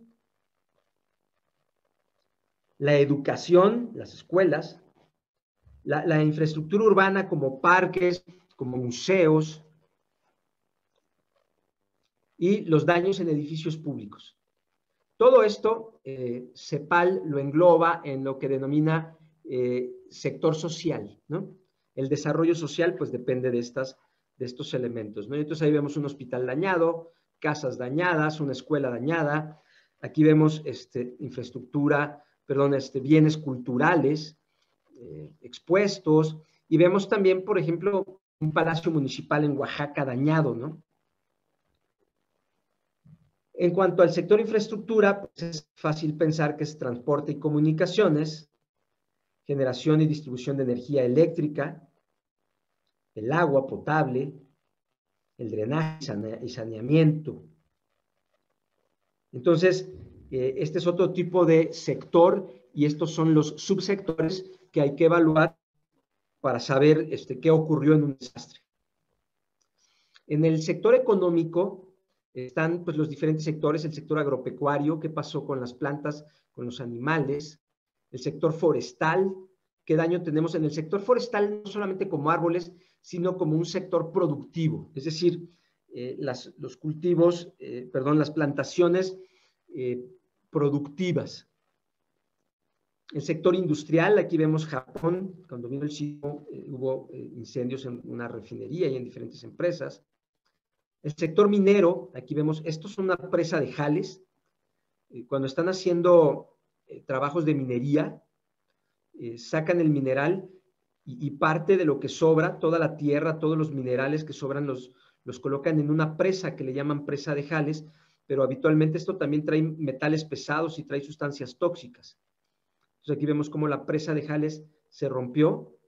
Esto es Brasil y vemos el flujo tremendo de Jales que terminaron por contaminar y por matar gente, ¿no? El comercio, nosotros vimos en el sismo del 2017, el, el comercio grande pero también los pequeños comercios dañados, tienditas, farmacias, eh, pollerías, carnicerías, todo eso se vio afectado. Entonces el sector comercial en el comercio micro y en el gran comercio puede verse afectado. Y por supuesto los servicios, restaurantes, este, aquí vemos algo muy importante, restaurantes, por ejemplo, peluquerías, barberías, eh, consultorios dentales, por ejemplo, ¿no? Eh, y aquí vemos los servicios pueden verse afectados en este caso, por ejemplo, en el COVID, pues todos los sectores están siendo afectados, pero más se quejan son los servicios. ¿Por qué? Porque ahí necesitas que el cliente vaya. Entonces, a veces puede fallarte la información, a veces te puede fallar que el cliente vaya, a veces puede que no haya flujo de dinero, como ocurrió en, Los Cabos. Ahora, el sector medioambiental, pues tiene que ver con el agua, que se dañen eh, por ejemplo, eh, hace algunos años, hace un par de años me parece, en Chiapas de repente eh, la, cascada cola de caballo dejó de tener agua, pues porque había habido ahí algunos problemas, eh, unos deslizamientos y cosas de ese tipo, ¿no? Aquí vemos esta otra, otra imagen, a lo mejor no lo notan ustedes, la playa de Cancún. Eh, Vilma, Gilberto, vino el huracán y generó tal nivel de erosión que miren, se perdió pedazo de playa. Entonces el suelo también se puede ver afectado, ¿no? Eh, por supuesto, la flora, aquí vemos el, volcán Santa Elena cuando tuvo su mega erupción, kilómetros y kilómetros de bosques fueron devastados, ¿no? Por supuesto, la fauna también se puede ver afectada. Entonces, estos son los sectores eh, que de algún modo esta metodología nos invita a que sean parte de la evaluación. Eh, por supuesto, hemos dicho que para comprender el elefante para poder ver el desastre completo, lo tenemos que ver a nivel sectorial, a nivel territorial y por las diferentes disciplinas, ¿no? Entonces, la eh, biología, la eh, ecología, mucho tendría que decirnos de esto. Acá tal vez la mecánica de suelos, la geología, la dinámica de playas, la erosión costera, eh, pues puede decirnos mucho de lo que ocurrió y plantearnos diferentes alternativas de solución. Por lo tanto, la visión tiene que ser sectorial, territorial y también, por supuesto, eh, disciplinar. Finalmente, bueno, necesitamos, cuando comienza la emergencia, antes de que comience, tener estas capacidades de inteligencia, de coordinación y, y ver de dónde vamos a sacar dinero, ¿no?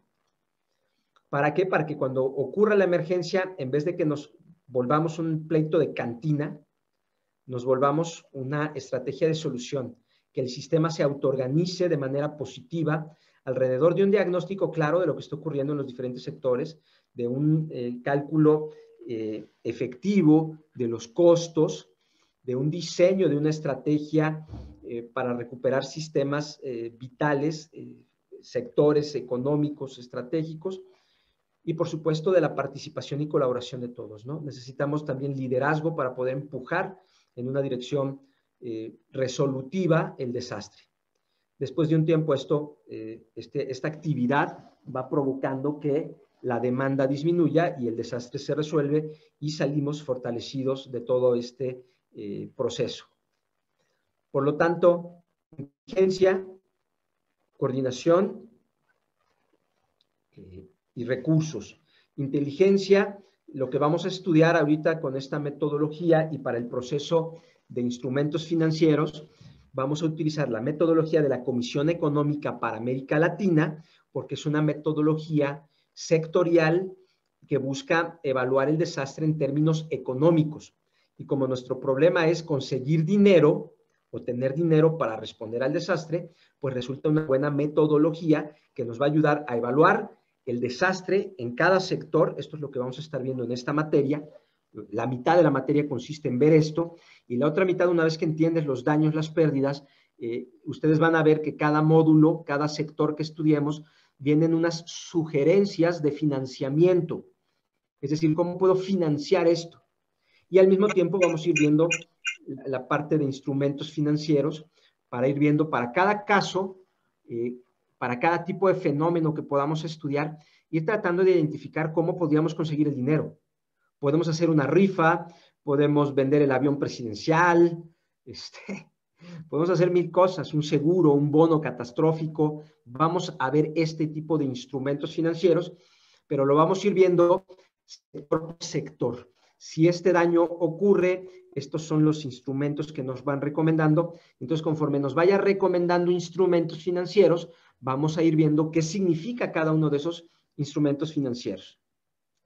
Y finalmente, bueno, el, punto de esta imagen, recuperarla al final, es que eh, cuando ya estamos en la situación de desastre, el análisis puede ser territorial, sectorial o disciplinar, pero la organización de la parvada es una organización que involucra a la población, en primer lugar, en segundo lugar, a la autoridad local y en tercer lugar, a todas las instituciones externas. Si la población y la autoridad local logran coordinarse y construir la suficiente inteligencia, los apoyos externos van a ser básicamente para compartir la evaluación, como vimos el caso de Iztapalapa, donde el gobierno local logró un buen diagnóstico, por lo tanto los actores externos llegaban a, conocer el problema, validaban el problema y metían recursos. Entonces podemos conseguir dinero gratis o podemos usar nuestros ahorros o podemos cobrar un seguro o un bono o, eh, una cautiva. Hay varias cosas que vamos a ir observando.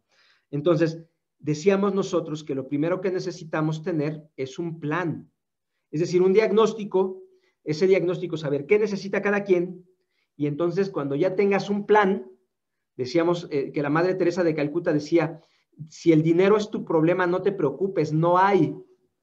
Cuando comienza tu desastre, no tienes un centavo para responder. Pero decía la Madre Teresa de Calcuta, si el proyecto es bueno y Dios lo bendice, eh, el dinero va a llegar. Y la esencia de esta frase de Teresa es que si no tienes una inteligencia, si no has dialogado y te has autoorganizado con la parvada, entonces eh, no vas a saber qué problemas tienes, no vas a saber cuánto cuesta eso, no vas a estar organizado para resolverlo y entonces no vas a poder tocar las puertas para conseguir el dinero que necesitas. Por lo tanto, diagnóstico, organización de la parvada, aquí me, regreso, sin un diagnóstico claro, inteligencia, sin un proceso que autoorganice a la parvada de manera positiva, no vas a poder aprovechar los pocos recursos que van a estar, las manos llenas de corazones, que van a estar dispuestas a ayudarte. Pero en la medida en la que tienes gran inteligencia, mucho conocimiento, en la medida en la que el sistema se autoorganizó de manera positiva, entonces vas a saber qué necesitas, cuánto necesitas, dónde lo necesitas, y cuando lleguen las fuentes de financiamiento, que son estas azulitas en muchas ocasiones, entonces vas a poder aprovechar de manera eficaz esos recursos para que los problemas de tu desastre se resuelvan. Y por lo tanto, inteligencia es muy importante, organización de la parvada muy importante, más inteligencia, más organización de la parvada, mucha colaboración porque necesitas recursos. En este caso, habitualmente son recursos en especie. Mándame una pipa, apóyame con tu perro de búsqueda y rescate. Pero ya cuando hablamos del gran desastre, eh, incluye todo lo de abajo, pero incluye otras cosas. Incluye inteligencia para comprender los daños sectoriales, territoriales, con vistas disciplinares. Incluye mucho diálogo para generar una organización del sistema de manera positiva, pero vas a necesitar colaboración. Y colaboración no es otra cosa más que los recursos. Tres elementos básicos. Me regreso antes de que terminemos, estamos terminar. Por eso insisto, para moverte a la derecha de tigres furiosos, zapatos volando, requieres inteligencia, una parvada organizada y recursos. Sin los tres, en ese orden, difícilmente vas a poder lograrlo. Entonces, aquí esto nos muestra que mientras más grande es el evento, más inteligencia, más organización de la parvada y, por supuesto, más eh, recursos vas a necesitar. Finalmente, bueno, eh, este es nuestro modelo para el que usamos para asomarnos al futuro y eh, el documento nos muestra varias cosas. Nos dice, y, estos son tablas solamente que, les pido que le den una checada después, cuáles son los eventos geofísicos, meteorológicos o hidrometeorológicos y biológicos en estos documentos, en América del Norte, Centroamérica. Está muy interesante. Yo les pido que lo, que lo revisen porque está desagregado específicamente para México. ¿Por qué para México? Porque México, Senapred, hay un área que es el área de evaluación de impacto social y económico. En esa área eh, me tocó a mí coordinarla en Senapred durante algunos años y, ahí trabajaban personas que participaron, por supuesto, en estos estudios y documentos, pero una de ellas este, es el actual director de resiliencia de la eh, Secretaría de Protección Civil, de Gestión de Riesgos y Protección Civil de la Ciudad de México. Otro es el director de prevención de la Secretaría de Protección Civil de la Ciudad de México. También trabajamos juntos. Este, fueron mis colaboradores y actualmente es el director de prevención, Norlan García, Rafa Marín. y en Senapred hicieron un trabajo excepcional por muchos años haciendo la evaluación de los desastres. Em, y por supuesto, alguien importantísimo, la secretaria de Protección Civil de la Ciudad de México, trabajó en la Comisión Económica para América Latina, justo haciendo este trabajo de evaluación. Su trabajo era evaluar desastres y conocen ellos muy bien estas metodologías. Ya veremos si, si, la secretaria nos regala una charla para que nos platique de la metodología, porque le da gusto que la estamos estudiando a detalle. Ahora, ¿qué tipo de desastres? Le llaman desastres climatológicos. Aquí hay que tener cuidado con, con, las definiciones, ¿no? Son desastres mediados por eventos climatológicos. Hay formas de, verlos. Y aquí vemos huracanes para México, eh, precipitaciones extremas también para México, y vemos pues desagregado para México daños y pérdidas. ¿Ya vieron? Aquí están los daños y aquí están las pérdidas. Entonces, ¿cómo vamos a hacer esta metodología? Vamos a calcular los daños y vamos a calcular las pérdidas. Y se hace para cada sector. Para cada sector calculamos los daños y para cada sector calculamos las pérdidas. Hay metodologías eh, lentas, hay metodologías más rápidas. Esta es una metodología muy completa, tal vez un poco más lenta, pero como estamos en clase y no estamos en desastre, eh, me interesó que la vieran completa. Y ojalá podamos después conseguir que, que, la secretaria, la maestra Miriam Ursúa, que es una experta en este tema, pueda participar con nosotros. Entonces, hasta aquí la, exposición mía. No va a haber preguntas esta vez de, de mi parte hacia ustedes, porque pues vamos empezando. Pero las próximas sesiones, chicas, chicos, debo decirles que de su lectura voy a dar tiempo para, em, para hacerles preguntas a ustedes. Entonces, no sé si ya queda claro para dónde vamos. Eh, no puedo pedir dinero si no hago una evaluación.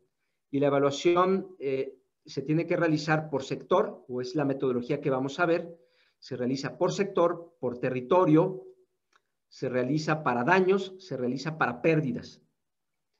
Eh, y con eso podemos calcular los requerimientos financieros, cuánto dinero se necesita. Y a partir de ello, y a partir de las características de cada fenómeno y de cada daño, podemos ver los distintos instrumentos financieros.